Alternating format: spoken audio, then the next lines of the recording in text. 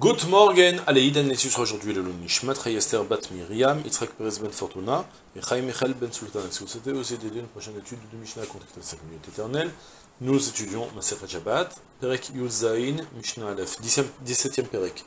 Kol Akalim Nitalin Beshabbat, Vedaltoteen Imahen. Afalpi Shinitparku Beshabbat, Shenan Domin le Daltot Abait, le Fiche Einan Minamouchan. On commence dans ce chapitre, Kol Akalim tous les ustensiles, à parler justement du principe de Muktse, les ustensiles qu'on a le droit de déplacer à Shabbat, ou les objets qu'on a le droit de, toucher et de déplacer à Shabbat, est-ce que l'on n'a pas le droit de déplacer, selon quelles conditions, quelles nécessités. Et on commence avec une première introduction, je traduis directement le Mishnah, Kol kelim nitalin ve Shabbat, tous les ustensiles peuvent être transportés pendant Shabbat, à la maison on parle, on n'est pas en train de parler de transporter dehors, Bedal et même leurs portes, euh, peuvent être transportés avec eux. C'est-à-dire, on parle en fait d'une armoire, par exemple, ou, d'une boîte où il y a une porte, un couvercle qui est même attaché, initialement qui est sur des gonds, et puis qui se déboîte à Falpichinit par et Shabbat. Et même si c'est déboîté pendant Shabbat ou même en Chol, on va expliquer après. D'abord, je traduis la Mishnah, hein, parce que ce qui m'intéresse, c'est la suite en fait. Shainan domine les daltot Car ces portes-là, des ustensiles, ne sont pas comme les portes des maisons les fichiers Enan Minamukhan, parce que les portes des maisons ne sont pas de ce qui est Mukhan, de ce qui est prédisposé à être bougé et transporté à Shabbat, et je commence justement à expliquer la Mishnah à l'envers, par la suite.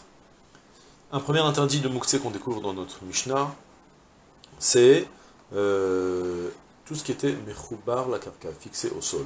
Tout ce qui était un binyan, en fait. On avait, vous avez une, maison, une maison c'est un, un bien immobilier, ça bouge pas.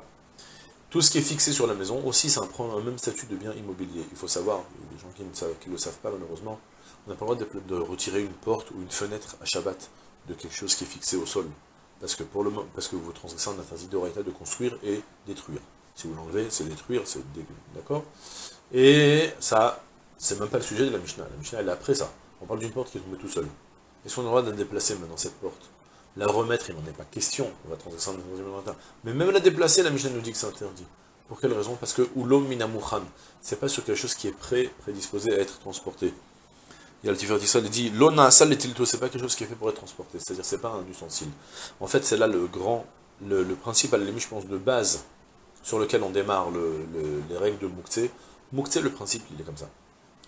Un interdit qui a été c'est les Haktot, c'est euh, éloigner une chose. ça peut être, euh, d'accord, le, différencier, le détacher de nous, c'est l'actot.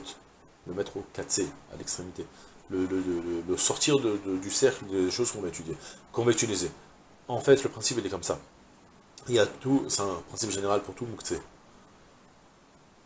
On, évoquera plus, plus loin l'origine de Mouktsé quand on arrivera à Rabbi Nechemia.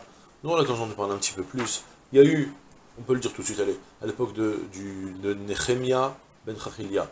C'était un des derniers Nevim, en fait. Il y avait euh, Daniel Ezra Nehemia dans le livre. Daniel Ezra Nehemia, le, dernier des, des, 24 livres, je crois que c'est. Nehemia, c'est un des tout derniers. C'est lorsqu'ils sont remontés en Israël pour construire le Beth Amikdash. Et il y avait là-bas, à son époque, il a remarqué que c'était la catastrophe. Les gens transgressaient Shabbat à n'en plus finir.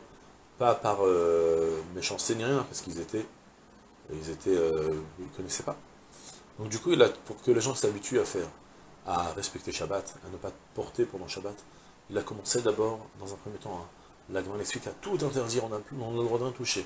Juste, ce qu'on a le droit, le strict minimum pour l'utiliser. Sinon, Shabbat, on touche à rien. Les gens se sont habitués doucement, doucement à l'interdit Shabbat. Il a permis, il a permis un peu plus, il a permis un peu plus, et il a laissé des choses qui sont interdites.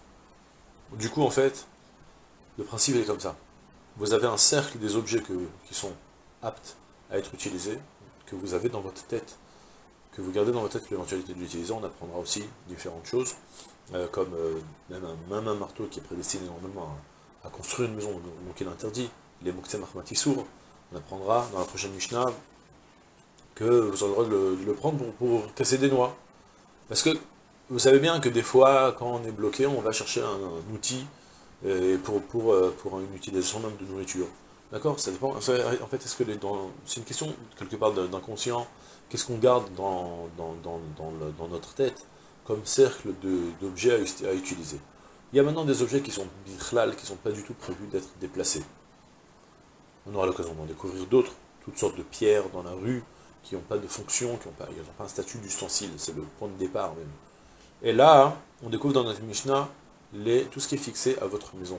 C'est vrai que vous voulez l'utiliser, mais pas en tant qu'objet qui est mobilier, puisqu'il est immobilier pour le moment. La table, la fenêtre, la porte sont fixés sur sur le, au sol, ils ne sont pas censés être déplacés.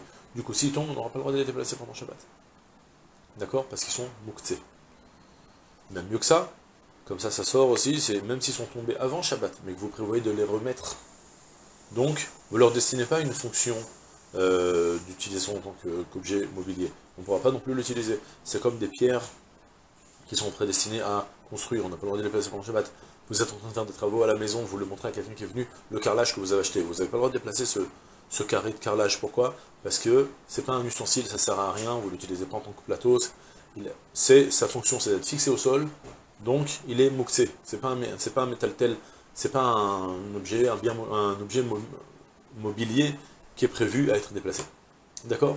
Ça c'est la fin de la Mishnah qui me dit, ce n'est pas comme les portes. En fait la Mishnah est venue me dire comme ça. Tu sais, tu prends une armoire qui est un objet, déplaçable, une petite boîte avec dedans une porte, sache que maintenant, puisqu'il est censé être déplacé, même, même les portes elles-mêmes, même si elles s'est déboîtées pendant Shabbat, alors tu, auras le droit aussi de déplacer la porte. Parce que ça, ça fait partie des objets mobiliers qui sont prévus à être déplacés, donc tu, pourras être, donc tu pourras aussi les déplacer pendant Shabbat. Vous avez compris le principe? Il y a un avis dans la Gemara qui n'est pas rapporté ici dans la Mishnah, mais je pense qu'il fait loi, c'est la vie de Rabbi Yochanan qui pense que c'est vrai que je te permets de déplacer la porte, mais à condition que la porte elle-même elle a une fonction. Tu puisses l'utiliser pour euh, transporter quelque chose, pour. D'accord? Qu'elle ait une petite, une petite fonction minimale. On aura l'occasion de plus apprendre ça de toute façon dans les prochaines Mishnayot.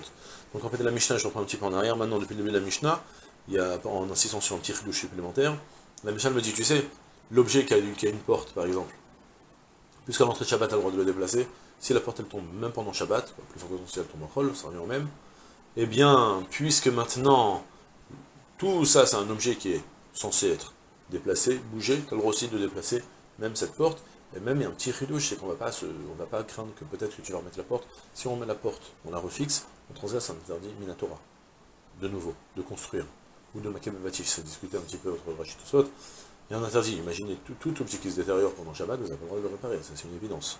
Je pense que c'est pas la peine de... Le cas se des fois, on a les, fréquents, dans les armoires avec par exemple des, portes qui sont sur, sur roulettes, qui, coulissent, euh, vous avez une porte qui est sortie, vous ne pourrez plus la remettre. Si elle est sortie complètement. D'accord? Là n'est pas l'objet de notre Michelin en tout cas, on revient sur la Michelin, elle me dit, même bien que tu avais donc cet objet, cette boîte qui avait dessus un couvercle qui s'est déboîté, tu as le droit de déplacer la boîte, tu as, le droit de déplacer le couvercle, juste tu n'auras pas le remettre, mais je ne vais pas craindre que tu vas, quand tu vas déplacer les deux ensemble, peut-être que machinalement tu vas les remettre ensemble, non je crains pas ça. D'accord? Et voilà, on a fini la Mishnah, c'est tout pour aujourd'hui, je vous souhaite une journée pleine, à Kol tout, ça